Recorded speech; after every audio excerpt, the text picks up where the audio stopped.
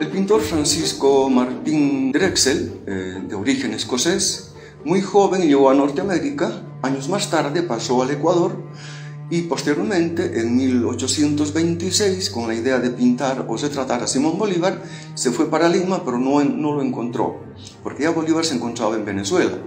Según el diario de este pintor, él realizó 40 obras en toda Sudamérica y dos retratos de Simón Bolívar, una que no se sabía dónde se encontraba, que en el 2018 encontraron en los depósitos del Museo Stirling de Escocia, los restauraron y actualmente lo exponen en este museo. Una segunda obra, o su par, diríamos así, del mismo pintor, eh, se encuentra en la Pinacoteca de la Casa de la Libertad. En su momento, el presidente Mamerto Ulloa Goitia lo obsequió a la Sociedad Geográfica de Historia Sucre.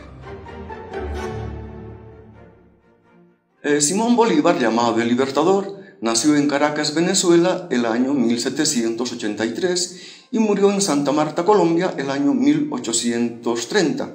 Él nació de una familia de origen vasco.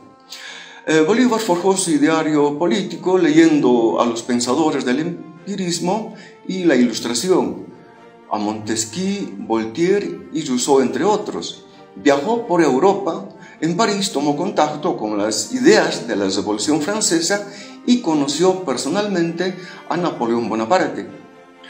A su retorno y como caudillo de la independencia hispanoamericana, entre los años de 1819 y 1824, logró la libertad de Venezuela, Colombia, Ecuador y Perú.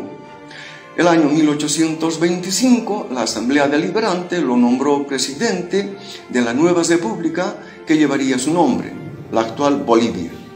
En la obra observamos eh, el retrato de Simón Bolívar, ligeramente declinado o inclinado a la derecha, eh, de tez blanca, pelo rizado, frente amplia, tiene la mirada dirigida al espectador, viste uniforme militar de cuello alto, donde se destacan las dos chaceteras doradas, de la misma forma el bordado de las hojas de laurel en el pecho que simbolizan la victoria y la libertad. La imagen se destaca sobre tonos grises, tiene un marco dorado, la obra es republicana.